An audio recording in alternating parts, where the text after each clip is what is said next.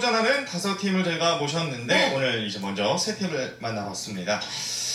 자, 역시 다들 잘하시고 네. 좀 여, 여유가 넘치시는 게 오늘 다들 기필코 오늘만큼 내가 우승을 그렇죠. 차지한다 이런 생각들이 보이는데 자 우리 최영환 씨 한마디 해주시죠. 네, 오늘은 예쁜 에, 트로트 스쿨 여러분들과 함께 나왔는데, 네, 트로트 스쿨의 교장 선생 최영화예요.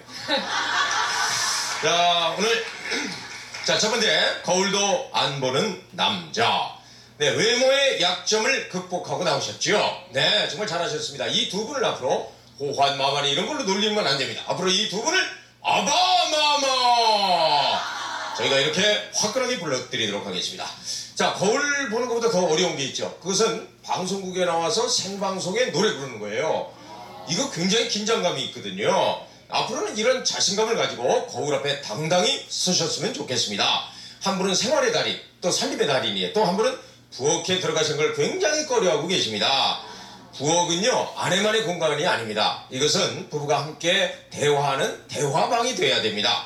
우리 남편들요, 아내들 말 안 합니다. 부엌에서 말 안 할 때 아내의 상처를 살피는 멋진 남편이 좀 예, 됐으면 좋겠습니다.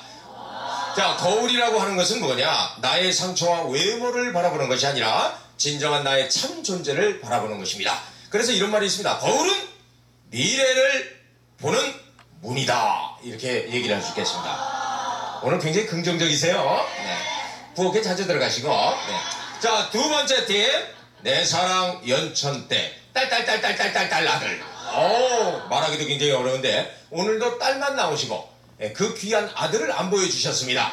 다음에는 어머님하고 그 귀한 아들이 예, 나왔으면 좋겠다 하는 생각 드- 듭니다.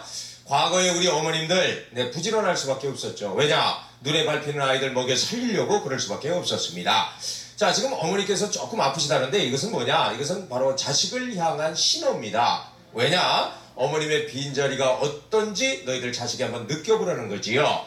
자, 우리 어머님, 어머님한테 가장 필요한 것이 무엇일까요? 비타민C? 아닙니다. 솜씨와 말씨가 필요합니다.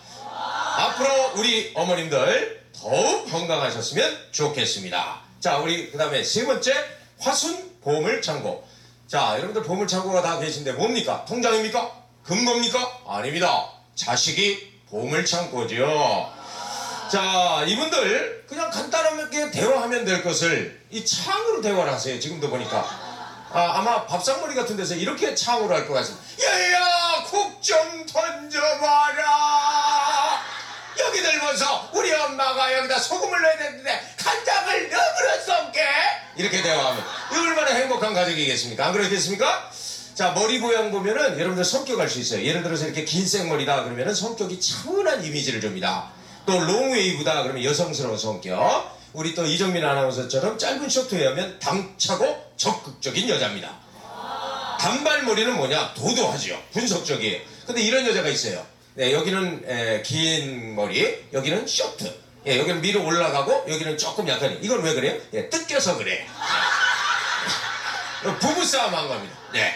자, 오늘 머리 얘기가 나와서 말인데요. 우리가 저 지난 방송에 네, 이분도 이 머리, 저분도 이 머리라고 이렇게 표현을 했어요. 그런데 이게 이용사 협회에서 전화가 왔어요. 전화가 왔어요. 이거 어떻게 해야 됩니까?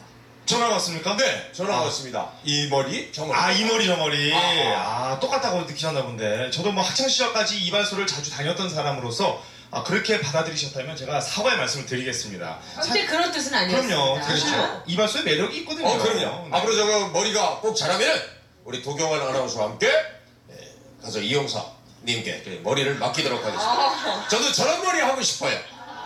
잘했죠? 잘하셨습니다. 가발이 필요하지 않을까 그래요. 생각도 드는데. 자, 그러면은 잠깐 쉬